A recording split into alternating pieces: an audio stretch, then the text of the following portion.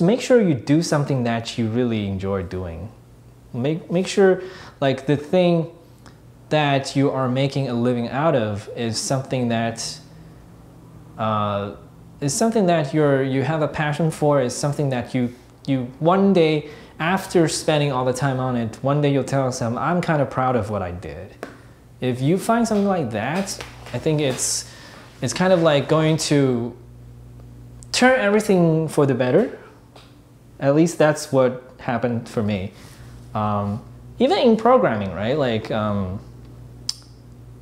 I, I kind of, obviously, like if you're just trying to get into programming to uh, improve your financial status, that's totally good. I mean, there are stages that you have to go through, but eventually you kind of want to, in programming, there are there will be fields or topics that you feel like, oh, that's my calling. I'm just like I'm better at doing this than doing that, then you should kind of uh, take any chance to steer your work opportunities towards this thing that you feel like you would be like feel better doing.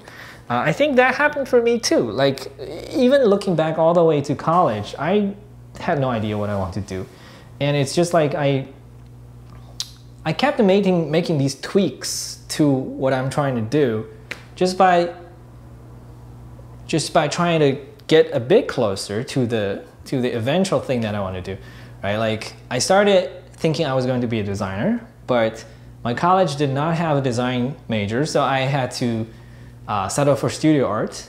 But then I went to this design technology program for grad school, and in grad school I discovered that I, I actually enjoy programming, and uh, after I did programming for so long, I, I found that I want to do open source, I want to do JavaScript, I want to do a front end framework, and eventually I find that I can actually make a really good front end framework.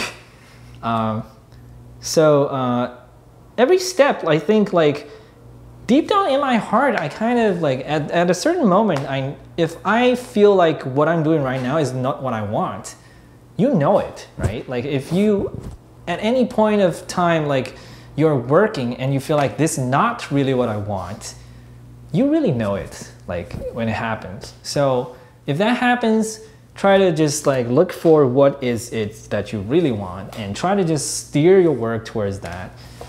Uh, I think it will be all for the better.